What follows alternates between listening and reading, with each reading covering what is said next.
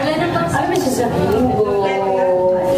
Ayun, wala. Maraming maraming salamat sa inyo, Silvianians, kasi ah, nandiyan kayo lagi para sa akin, sa support at pagmamahal nyo. Nakikita ko lahat yun at nararamdaman ko.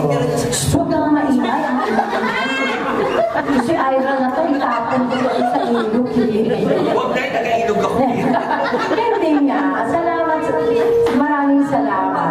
Natutuwa ako. Ah, Wala ko na wala. hindi ko sa ulado lahat ng pangalan niyo.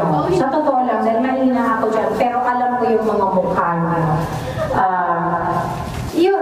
Ano pa ba? yun lang. Huwag kayo mag-expect umiyak ako kasi walang bayad doon.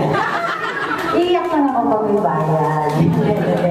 Basta yun lang. Um, salamat kasi yung suporta nyo hindi lang sa akin. Pinaramdam nyo sa akin pati kay Ria, pati kay Arjo, kitang-kita ko yun.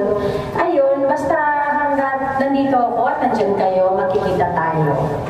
Ah, hindi ko man kayo palagi na nare-replyan, pati te- nagte-text kayo. Kasi ano-ano po ako umiiyak sa set. Sa totoo lang.